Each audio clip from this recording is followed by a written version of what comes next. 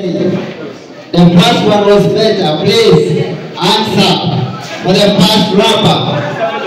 Let's count how many hands. Uh, like uh, okay, let's go like this. We're going to use the letters because uh, uh, I remember the names. We're going to take the first one as A, the second one as B. Please turn your backs. Just the other side. Okay, thank you very much. They are from the same campus. Who are better, please answer.